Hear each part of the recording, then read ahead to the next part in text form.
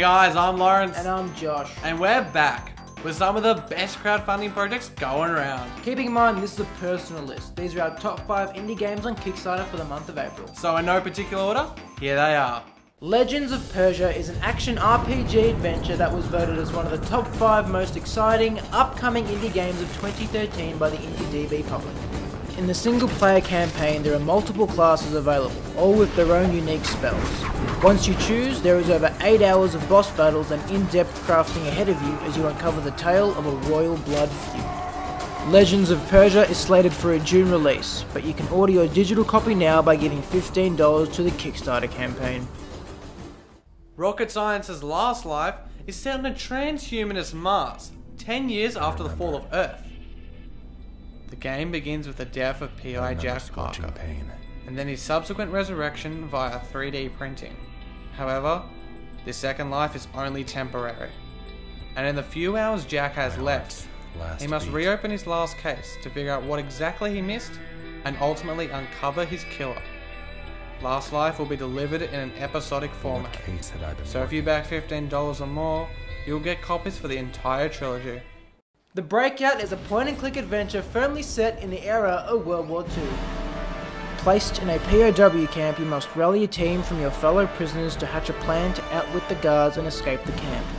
As the story unfolds, the urgency of escaping increases as the colonel in charge is in fact part of a secret cult and has plans for a mass sacrifice. £8 will nab you a digital copy and help make this exciting project a reality. Next up is the Land of Eyas, a platform of ever-changing physics and challenging puzzles. As Eyas, the cute kid in a cat costume, you seek out stones that contain memories of an old tree so that he can remember his past. Along the way, you must battle with the top half of the screen having regular gravity, where you fall downwards, and the bottom half of the screen having an opposing gravity, where you fall upwards. It's quite confusing, but oh so ingenious and exciting. The Land of Eyas is developed to the stage that it is playable, but needs Kickstarter support to complete it.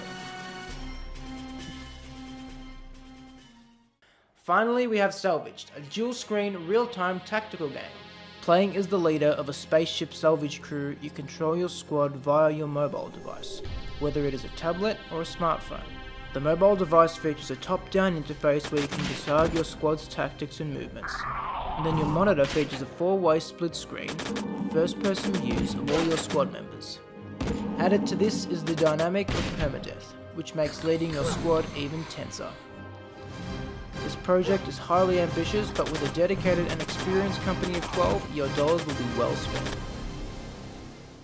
Well, there were some really exciting and innovative games on Kickstarter this month, so we hope you enjoyed them.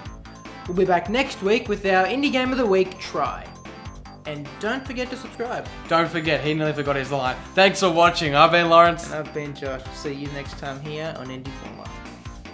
Testicles!